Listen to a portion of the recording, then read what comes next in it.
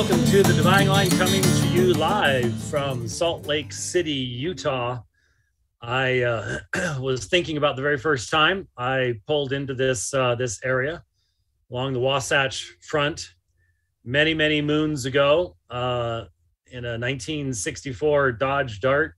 Those body panels were the same color, and um, it was like going on a missions trip. And in a sense, it was uh, very much Utah is a very much a missions area. Interesting missions in a different way now than then. Um, but um, a lot of things are the same. A lot of things have changed. There used to be a taco time near near here. I am very, very disappointed to report that it is no longer there. Um, I have to go down to the one at um, on State and was it 600 East? I think it's where it is. Uh, if I want to get my my taco time while I'm up here, which I will do, uh, probably tomorrow at some Um, point, I would guess. A lot of things are the same. A lot of things very, have changed. I used was uh, teaching church history in in Germany. Love spending time with uh, our fellowship there in uh, in Germany. State Um, was we've been doing 600 church history for I don't know a year and a half, two years now. Not obviously all the time, but uh, we're, we haven't gotten to the Council of Nicaea yet. So uh, we're gonna be doing this for years and years and years. Um, I don't know if I'll even live long enough to to get it all done, but anyway, um, you will notice that uh, we are live. Um, I don't have the shade down, so you can see uh, a unit behind me. You'll see some driving by. You may have. We just had a helicopter go over. He was so low that he set off car alarms. He's going along. I'm sometimes wonder if they do that just for the fun of it. Um, but it's a beautiful day. It's going to be like 74 degrees uh, in uh, Salt Lake City today. But by next Tuesday, uh, snow and uh, going to be totally different. So uh, thankfully, I won't be driving in that, but I could have some weather getting up to uh, to Idaho. So prayers appreciated as we get up to Idaho next week for well, not this next week, but um, weekend week after that for all the events and things we're going to be doing up in Moscow with the Canon Press and the debate on the 22nd with um, uh, Doug Wilson and recording other stuff. So busy, busy time. Uh, tonight, I will be speaking at the Orthodox Presbyterian Church in Magna, and again Sunday morning twice, and I believe Monday evening. I think I should have had the schedule in front of me. Uh, sorry about that. Um, and then I will also be uh, preaching at uh, Apologia Church, Apologia, Utah, on Sunday afternoon. And Wednesday evening, I'll be down in uh, Payson on Thursday. So we'll be doing a lot here in the um, in the Salt Lake City area. And uh, if you're in the area, certainly you'd be welcome. We were at uh, Southern Utah University on uh, Wednesday evening. That turned out really, really well. Very, very enjoyable uh, time there, speaking on the Trinity, and uh, uh, had this is one of the reasons we do the traveling this way. I mean, we started doing this because of COVID, and everybody's like, "Well, that's all over with." I, if if you believe that, I think you're naive. Um, we have a pause right now. Uh, Germany, I was informed by my German friends yesterday, voted down uh, a mandate for vaccines of people, even people over 60. So it's gonna be so the the mandate is done in Germany. That doesn't mean people haven't already lost their jobs and everything else, but um, it's done for the moment. Even though the um, numbers worldwide uh, won't go into this right now, but from what I'm reading, um, COVID is still a serious problem in the advanced nations that used mRNA, mRNA vaccines. In the nations that used old style vaccines or really didn't have any vaccination at all, it's not an issue. But it is an issue for those who use the mRNA vaccines. And that should tell you something. Uh, in a um, in a sane world, there would be investigations going on and there would be heads rolling, but there will not be. It's not going to happen. Not not now.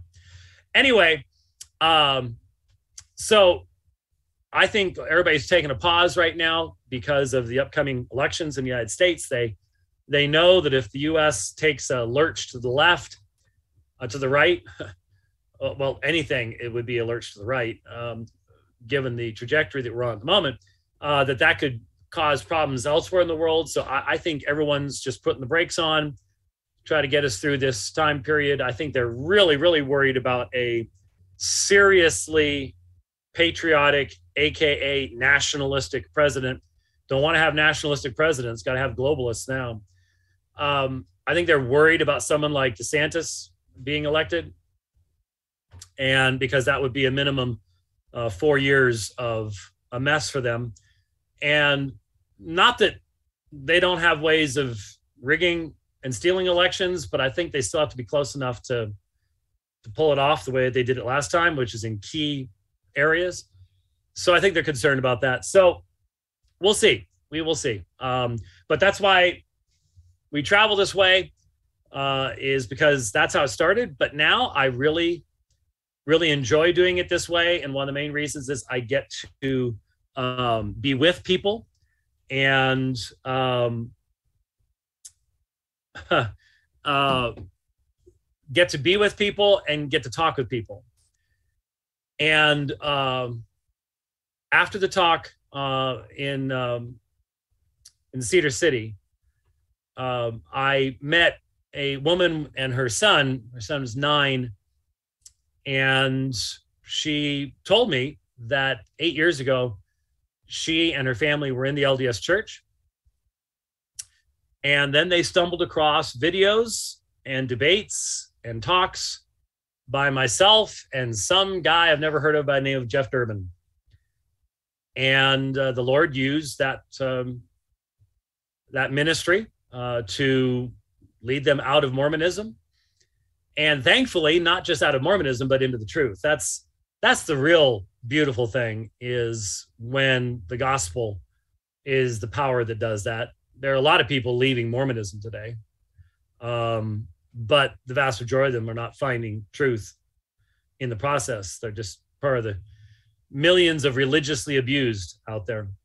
And uh, so that kind of thing, I was walking on air when I left uh, from uh, speaking there in um, in Cedar City, and I had sort of forgotten that that was the first night of the LDS Easter pageant in Mesa, Arizona. That hasn't been running for a few years, and so much of our experience with Alpha Omega of witnessing the Mormons was out in at the Easter pageant in Mesa, and then of course up here in Salt Lake City.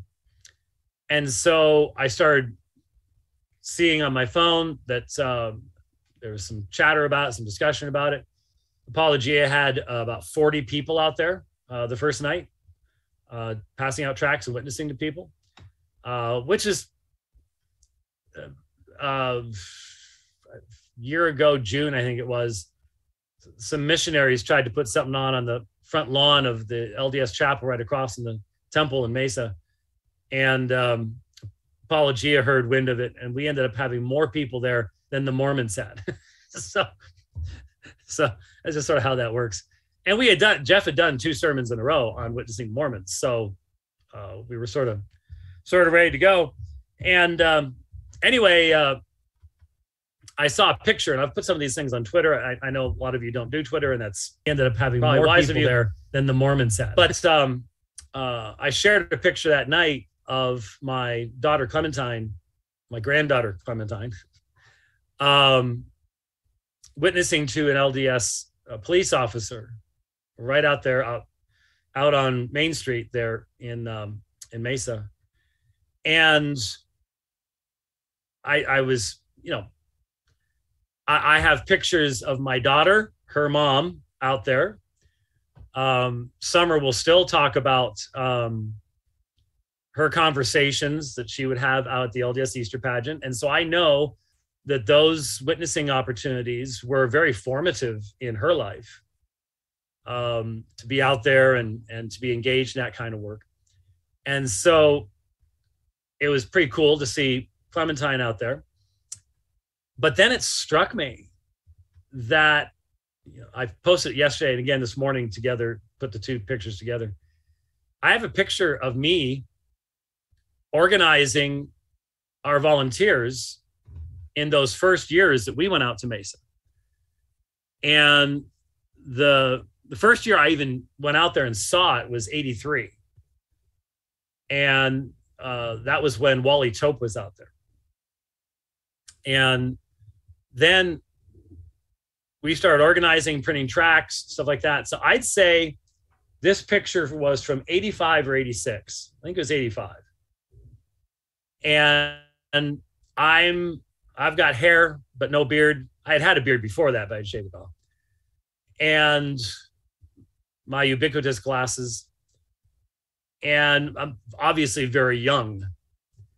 And it struck me that I was only 13 to 14 years older when that picture was taken than my granddaughter is now out there witnessing the Mormons in Mesa, third generation.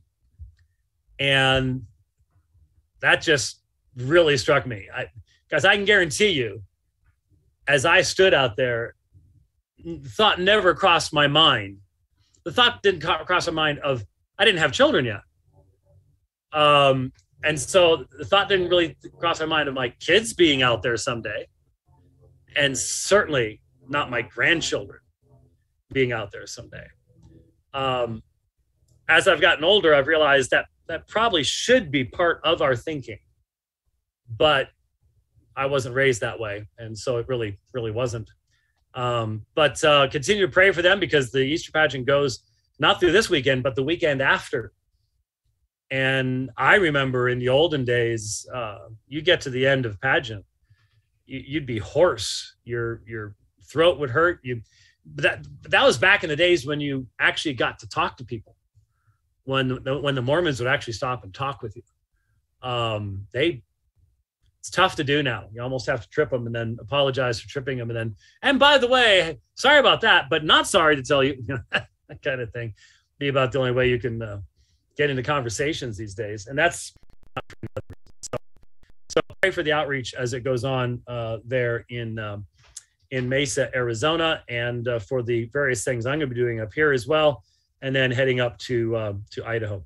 So, my my my, uh, Judge Ketanji Jackson Brown has um, now been placed upon the United States Supreme Court, and the responses have once again demonstrated the fact that I, I think it is beyond question right now that we live in two nations at the same time. We live in a nation where there are still many people who hold to values and views that come from our past, from our Constitution, from faith, beyond question right now that we live in and those who have rejected all of those things consider all those things to we be terrible, live, hateful, um, and who are looking forward to the utter banishment of such backwards thinking uh, from from this nation. And a very wise man once said, um, "A house divided against itself cannot stand." And I truly believe we are looking at a house very much divided against itself in our nation. But there are also many of those um, quote unquote within the church that are celebrating this um, action of placing this woman on the Supreme Court. And the whole reason is because we're skin color. Let's just be honest. That's what it is. There have been women on the Supreme Court before. Um, every one of them, I think, could tell you what a woman was. Uh, this one can't tell you or won't tell you what a woman is but it's all about Church skin color. It's all about race that are celebrating it racism. It is black racism. Uh, it is black supremacy racism, but it's racism nonetheless. Because if if you celebrate someone doing something simply because their skin color, you are celebrating a form of racism. And the issues related to uh, her judicial philosophy her support of abortion. The reason she refused to answer a question about what is a woman, because she is beholden to the radical forces and they are radical forces. They are they're they are only destructive forces. They cannot you cannot build a society that does not know what a man or a woman is. It's just not possible. And so um, we the, the the very fact that she was nominated on racist grounds, racist and semi-sexist grounds, uh, the very the very fact that the president of the United States had said, "I will only nominate a black woman," is an affront to the Constitution of the United States. Is an affront to every thinking individual. Every adult in the United States should have rejected such absurdities. But a large portion did not reject those absurdities. And so you get what you get. You know, said that's what he's going to do. That's what he did. And the issue of character should be central in this process. And character must be determined today by whether you are an individual who wishes to see the annihilation of the human race as understood as creatures of God with transcendent meaning, or whether you're a person who will recognize your own creatureliness and will embrace those values that will then allow you to respect others. There is no basis within a secular worldview for respect of others. You can talk about it till the till the cows come home. But the very fact that we see that people are willing to say, you must absolutely respect Bruce Jenner. You have to respect Bruce Jenner when he pretends to be Caitlyn Jenner. Will at the same time utterly refuse to respect someone who has consistently throughout their life said these this is what marks a man and this is what marks a woman and these are attributes that have been held by every generation before me and i will continue to hold those perspectives you can disrespect that person you can cancel them you can you can call them a hater you can call them a throwback you you can do whatever you want. So there's no consistency, and there can be no consistency in a secular worldview because there are no transcendent values that remain true. Well, used to say from generation These to generation. are now it's from week to week. That's day to day. You you can there, there's that that that um, uh, thing on uh, the on Twitter where they catch people and they'll put one tweet up saying one thing and then another tweet comes from sometimes a week later absolutely contradicting what was said in the previous one demonstrating that there's no consistency well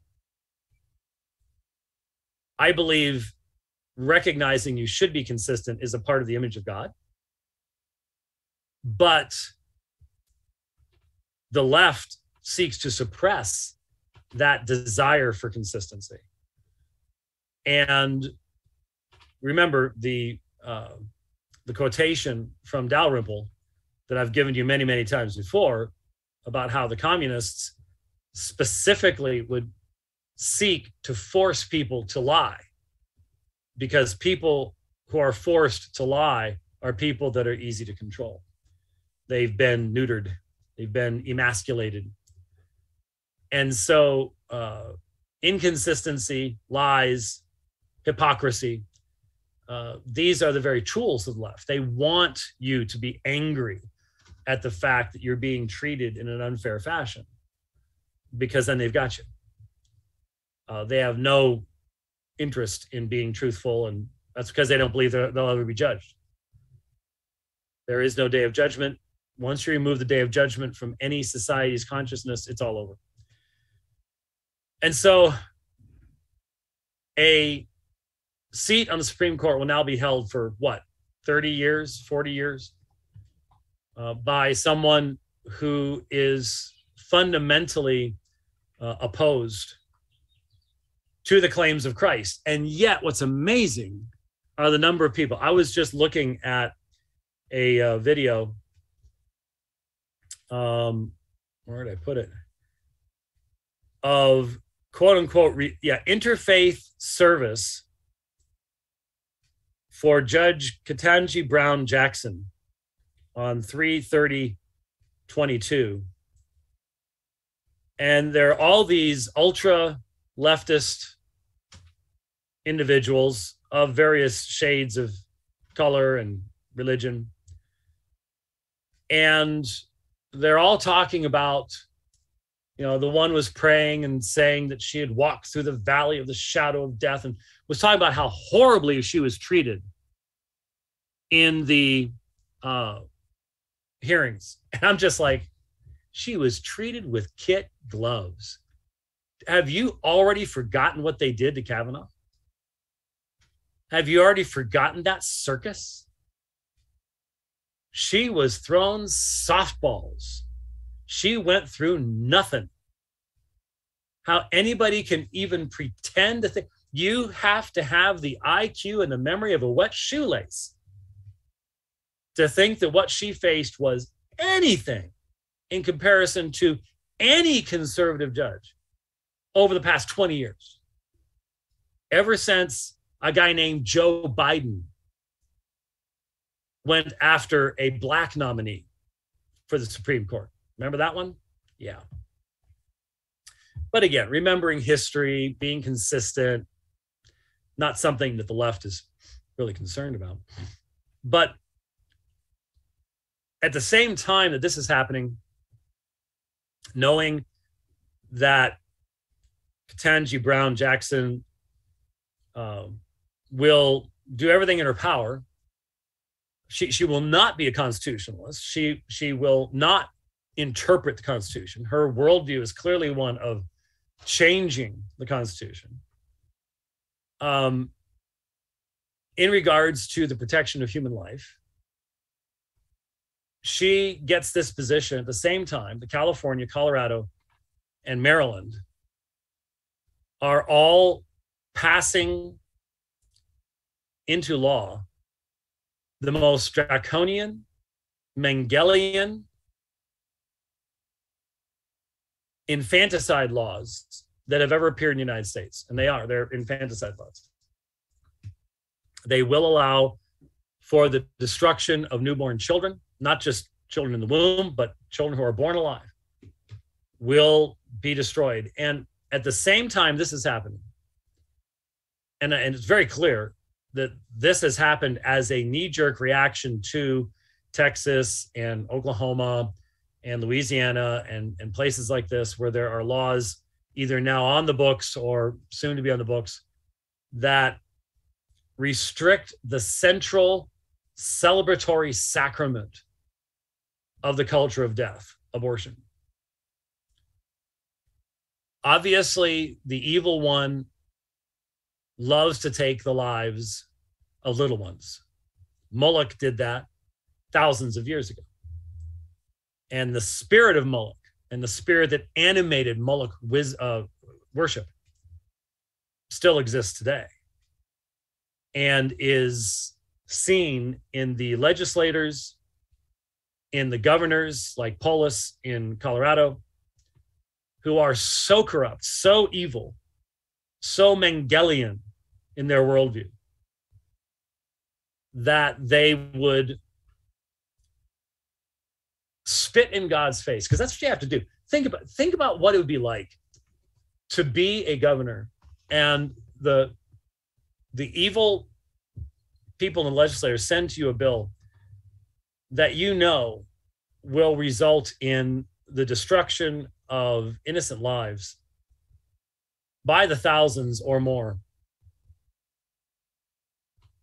And you have so little concern, so little thought about the fact that you will stand before God to be judged, that you would put your name on that. You have to have been given over. Your, your conscience has to be seared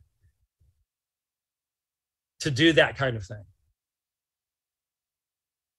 and I, I hope you all recognize when I say Mengelian, I, I know most of you know what that means. I'm speaking of Joseph Mengele, the Nazi death camp doctor who never received in this life justice. Trust me. He is receiving and will receive justice.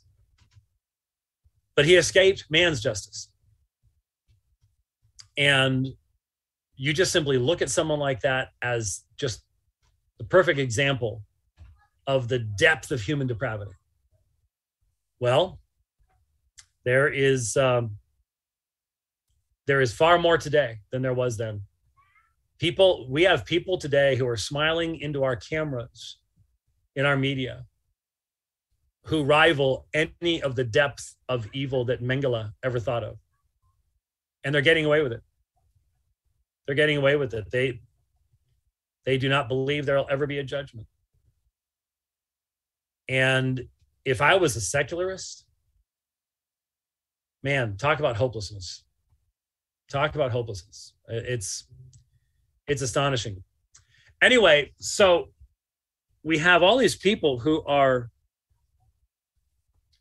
quote unquote religious people who are celebrating the elevation of an individual to the Supreme Court of the United States of America solely based upon skin color and completely without reference to the fundamental understanding of the most basics of a Christian worldview and of simply a, a worldview of sanity. I don't even know what to say other than God deliver us from such people. I was sent a clip from the um, let's see where to go. Uh, where, where did I put that? All right. Well, too many. There it is. There it is. Two. I only got one screen set up right now, so it it gets a little confused. Um, I've never listened to an entire one, but there's something called the Holy Post podcast, which includes the Veggie Tales creator and some other woke folks. And these folks obviously present themselves as Christians, as um, uh, individuals who believe in the authority of the teachings of Christ but they start off their program with a discussion of the Disney controversy.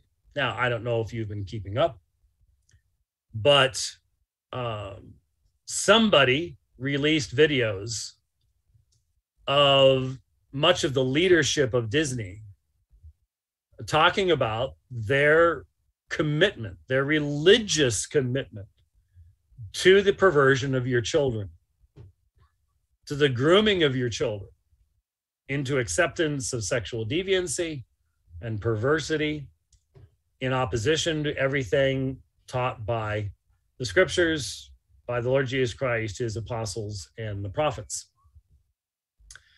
And that is more than enough for me to never have anything to do with Disney ever, ever again.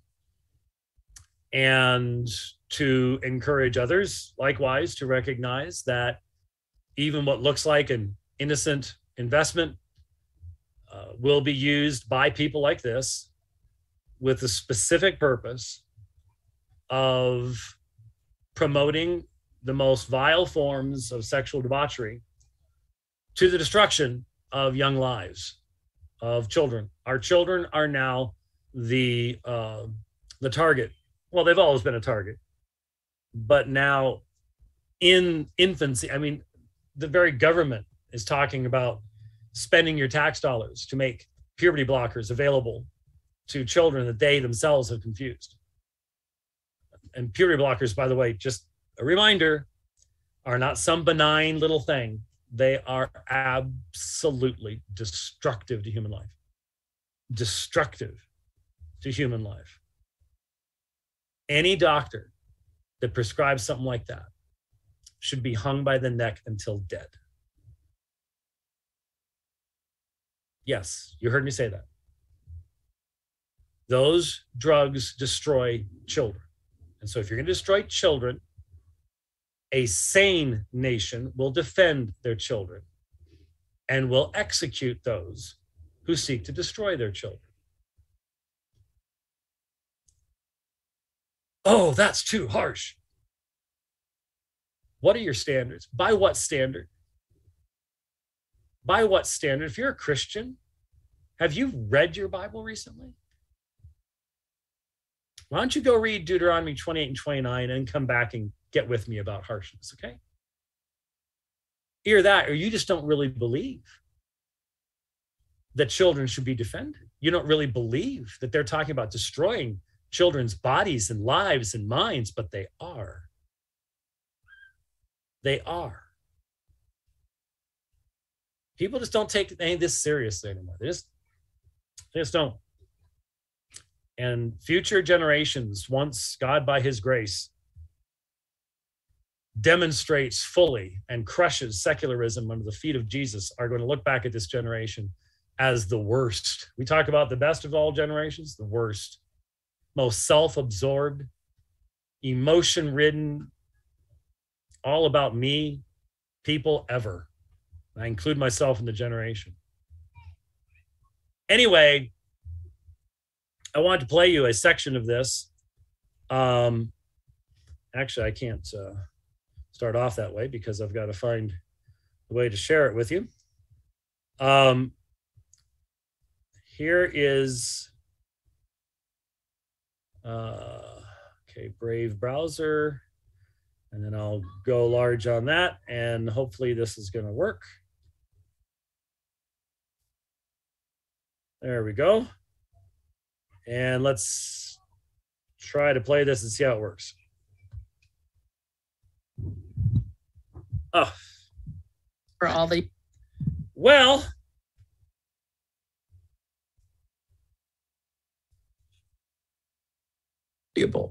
Right. In fact, I would argue that in, in taking it from the best case scenario, both the right and the left all right, here we go. I had it queued up, and of course, it went back to the beginning. complex. are merely meant to represent and validate Here we go. people who fit those minority identities. And that's equating it with race. And all I'm saying is it's not the same as race because they are not inherently immutable for all people in all places the way race is. And that needs to be handled differently and respected. So, what you're saying is it's more complex and people want to oversimplify it. So, Yes. when people on the right say, if, if you want to talk about gender identity in second grade, it's probably because you want to groom children to make them transgender. And on the left, we say, if you don't want us to be able to talk about gender identity in the second grade, it's because you're a bigot and you hate all, you know, non-binary, non-conforming people. And both left and right are oversimplifying a complex matter. That no, it and doesn't misrepresenting it. yeah, it doesn't mean totally. you're a, you're a bigot if you're not comfortable with that, and it doesn't mean you're a groomer if you think that would be Right. valuable. Right. In fact, I would argue that in, in taking it from the best case scenario, both the right and the left have very admirable reasons for their positions. On the left, it's we want to care for and represent and validate kids who are non gender conforming and make them feel loved and welcomed. Amen.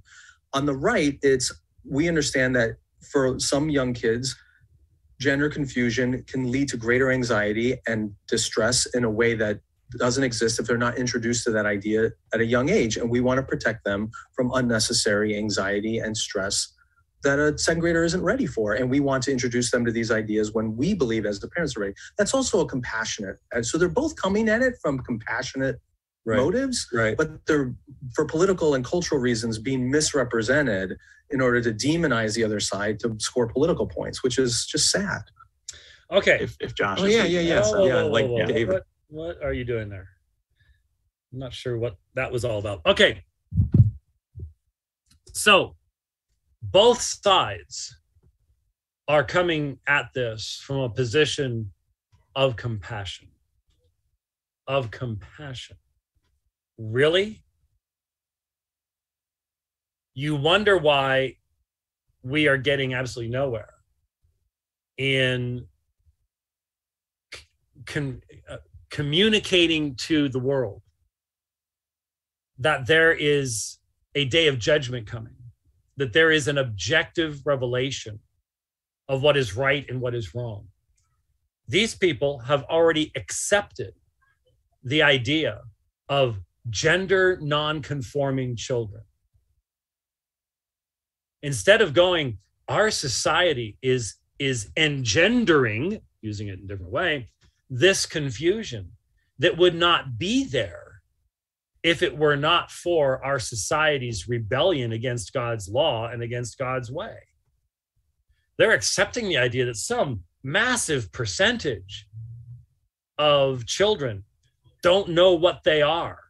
It's absurd. Absolute absurdity.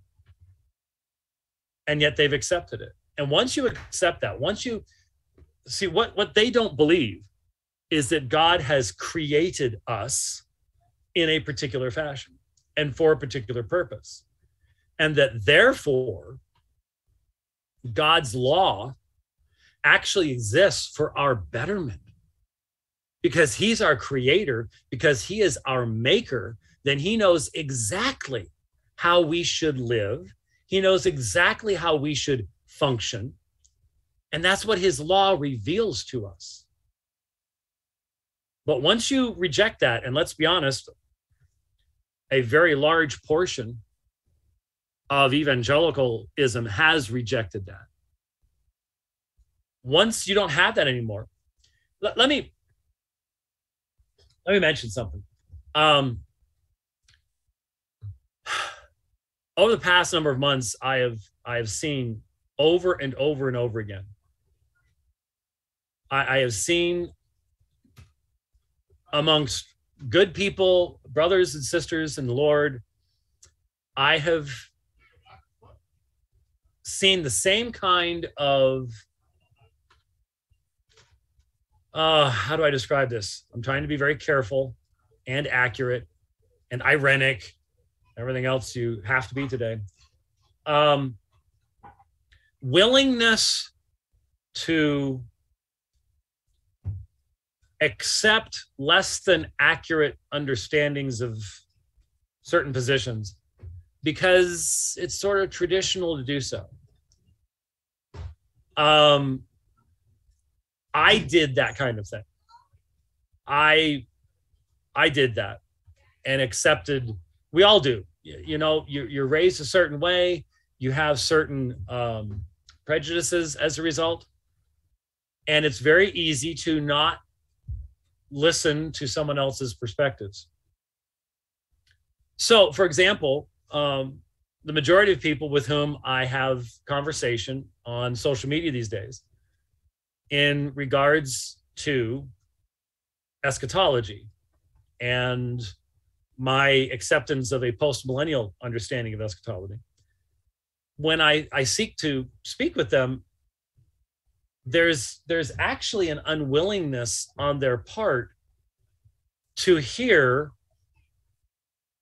a meaningful definition of what postmillennialism is all about. Instead, if their favorite preacher said that postmillennialism means that every single day it's better than the day before, you can go, well, that's not what it's saying at all. Uh, it actually is saying this. Oh, no, no, that's what it's actually saying. And so since today's not as good as yesterday, therefore it must be false. And it's like, but but that's that's not what it's saying.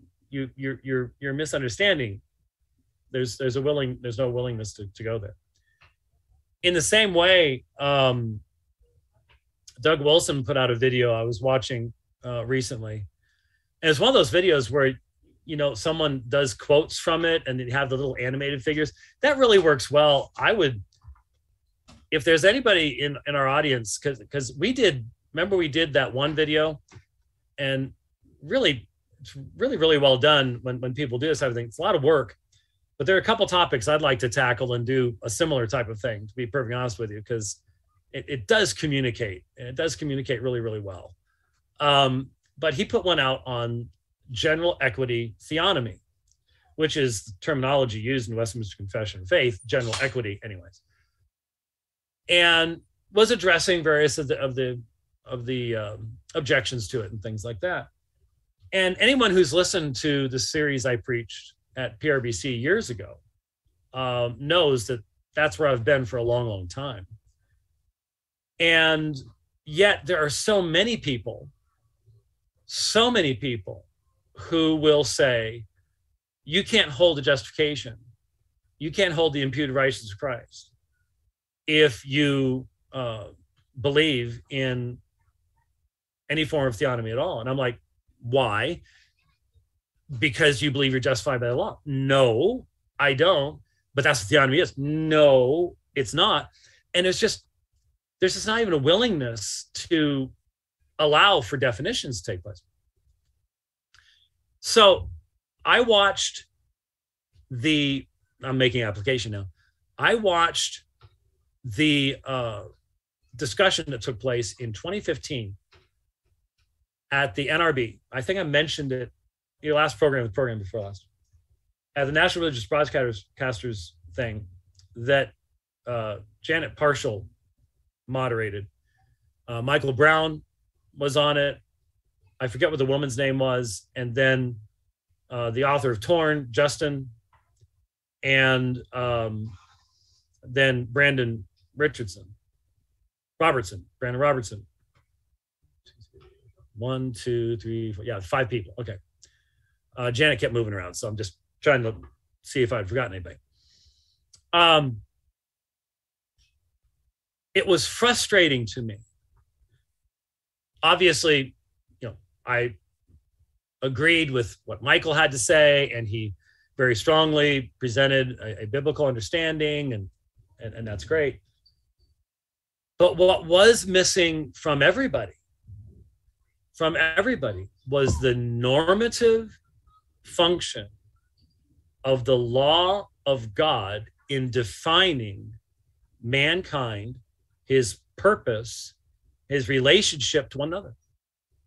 There is a lot about feelings and emotions and and wouldn't it be better for the church if this and la la la? But nobody. Oh you could have, and there are people the, the scriptural teaching is this but there was a fundamental hesitation. A fundamental hesitation to specifically make the statement God's law defines what man is to be. God's law tells us how we are to do life, how we are to do relationship, how we're to do law, how we're to do government.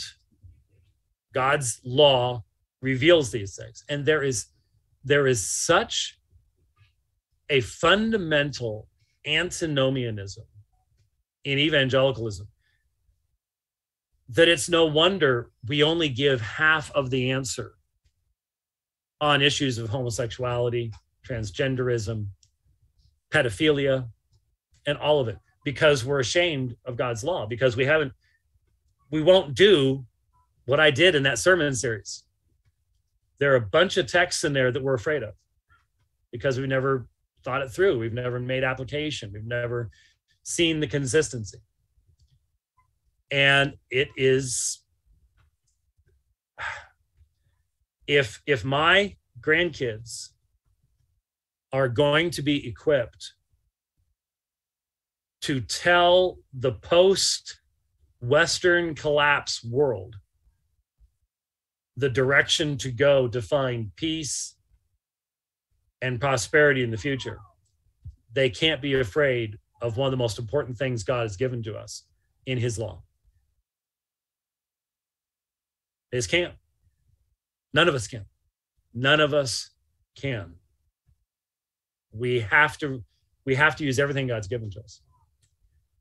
And so as I as I listen to what's going on in the world today, I am I'm just reminded of not only the the blessing of what God has given to us, but the blessing of believing his promises that Christ will put all of his enemies under his feet. And that may take a long time. And anyways, so with all of that said, I saw a video online and um, we had commented last week on Brandan Robertson. Again, he was on the panel in 2015. I could tell then it was only a matter of time.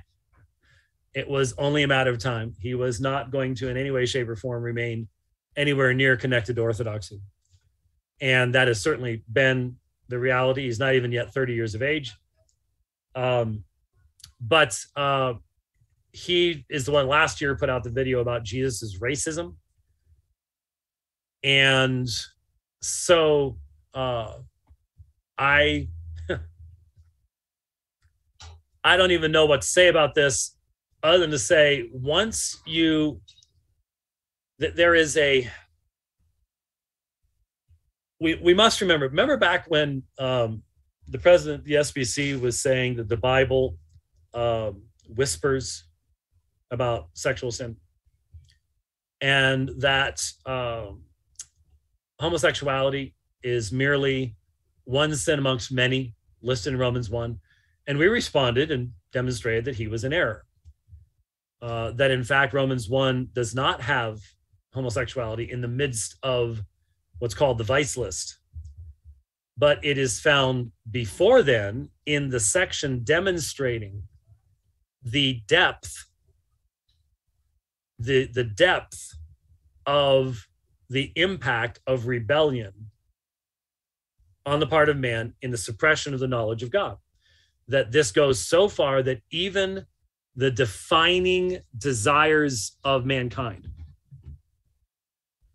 knowledge of what a man is, what a woman is, what a man's supposed to do with a woman, what the natural function of the woman is, and vice versa, will be sacrificed to that rebellion and that therefore the argument is that homosexuality means that the rebellion against God goes to the deepest part of man, even to this level, which, if it became general, would be the end of the species, right? A person who embraces that lifestyle and says, That's who I am, that's how God has made me is a person who will go to any length to defend that perspective. And if they remain religious, that means they will go to any length in the perversion of the word of God to defend that perspective. And that's what Brandan Robertson is doing. And I believe we've only seen the beginning it's going to get worse. It's going to get worse unless God grants repentance. So when I saw this um, this video, I was like, "You've you've got to be you've got to be kidding me," but wasn't kidding. So let's listen. It's only a minute and eight second, a minute and two seconds long. Well, it's about a minute long. What's that? Well, we don't have to be exact. It's about a minute long, and um, all I gotta do is play it, and then we'll make some some comments from there. Let's um, let's dive in. Did you know that Jesus helped his friend come out? In John chapter 11, verse 43, this is what it says Jesus called out in a loud voice, saying, Lazarus, come out. You see, Lazarus was locked up in a cold, dark tomb, wrapped in burial cloth, left for dead. That's exactly what so many Christians and so many churches do to LGBT people. They wrap us up and bind us up and tell us that we need to keep our identity, our true self locked away. But Jesus, upon seeing Lazarus in this state, he says, Lazarus, come out. Step into the light. Take off the cloth. Be who you are. Come alive. I believe that this is what Jesus is speaking to every LGBT person. Come out of the tomb of shame. Take off the chains that have bound you up. Step into the glory of who God made you to be, fearfully and wonderfully made, just as you are. You are beloved of God.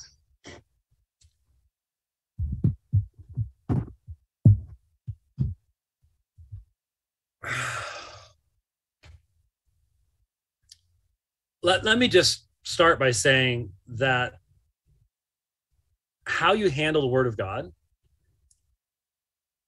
is exceptionally important. And if you, as a false teacher,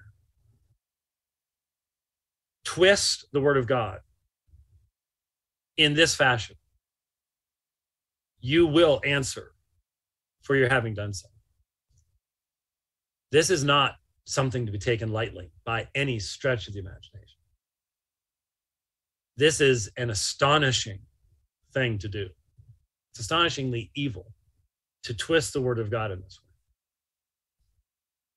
There is not any time in, in all of church history where anyone up until the modern day would have looked at that text and made that application. You must reject the consistency of scripture, which he obviously has already. And then you must be willing to engage in an astonishing level of misrepresentation to come up with what we just heard in those in those words. John chapter 11 is a tremendous passage teaching that Jesus has complete sovereignty over human life. It is a picture of the power of God to raise the spiritually dead to life. It is a picture of his power as the Son of God, fulfilling what he had already been teaching in John chapter 5, John chapter 6, John chapter 8, John chapter 10. And as such, it should render a sense of awe in the heart of anyone. It's, when when you're speaking to unbelievers, you can present to them a Jesus who once raised Lazarus, and I don't know what where the Lazarus thing comes from. I maybe there it was edited, so I maybe maybe he made some I don't know, but who raised Lazarus from the dead to demonstrate the unity that existed between he and the Father. That was part of the purpose of having done so. This is the same Jesus who anyone like Brandan would have to admit if what Brandan says is true, then there were many homosexuals and even transgenders. And within a few years, that long acronym will include minor attracted individuals, minor attracted people, MAPS. They'll put an M in there or whatever they call it. And so, in a very short period of time, to be open minded, to be loving, you need to include them in the list. Uh, even though I can remember not very long ago when you would have been pilloried for saying that that would happen. You, you're just, that is absurd. That would never happen. We're not saying that. Well, it's happening now. We all see it. We all see it happening all around us. Um, but they would have to admit that in Jesus' ministry, when he was speaking to the crowds, if he knew what was in the hearts of men, there were homosexuals in front of him, right? They were made that way. There were transgender people made that way. And they could not live out, they could not be their best selves, their true selves. Notice how he used that language. So he's saying it's something that God creates in people. They couldn't be their true selves because they'd be stoned, they'd be executed. And Jesus knew because he knows what's in the hearts of men, right? Never said a word. Never said a word. Instead, he said, if you teach men to break even one of the least the commandments, you'll be least in the kingdom of God. Huh. In fact, he said he was the fulfillment of the law. That doesn't mean the doing away with, but the fulfillment, its goal, its end, its purpose. It pointed to him. It's a our tutor to lead us unto Christ. Huh. The law that kept them from being their true self. And yet Jesus never said a word. But when he raised Lazarus from the dead, he was letting he was helping his friend to come out. That kind of utter twisting of the scriptures, the utter twisting of language, only works on unregenerate individuals who want to be deceived. Because I mean, even in the context, even within the context of unbelieving people, just simply a person who, for example, studies ancient literature would be able to go, um, no, that's not, no, that's that's not what that's about. That for fair, we'll have to admit that's not what that was about at all. But when you are a pastor of an affirming church, which is nothing but a synagogue of Satan, um, then you can say whatever you want, and there's already a perversity in the mind that is then attracted to perversity of teaching. Because people wonder, why do people go to churches like this? Everybody knows that you're just going to hear what you want to be told. Well, that's what happens in your church too. No, it isn't. No, it isn't. There are very often very convicting sermons that tell us what we don't want to hear based upon the word of God. Well, it happens there too. We're told that we need to strive for justice. The vision of God and justice and of the Christian faith in those churches is always simply a reflection of its leadership. That's all it ever is. Because the word of God isn't believed there. This man doesn't believe the word of God. He's not under the authority of the word of God, but he is a twister of the word of God. He is a perverter of the word of God. And he's not the only one, but he is representative of so much of what we see going on all around us in this day. So we must ourselves be skilled in exegesis in understanding how to handle the scriptures, not based on some tradition, but to actually honor them as the word of God. If this is the word of God, then we will honor it as the word of God. And you have to handle it in a certain way to honor it as the word of God. And then we'll pass those skills on to our children and our grandchildren and our great grandchildren as, as a more important aspect of their inheritance than anything else you could ever give them from this world. Ever thought of it that way? It's true. It's true. Think of it in those those lines. Something just popped up on. I guess we should stop eating um, eggs. Avian flu.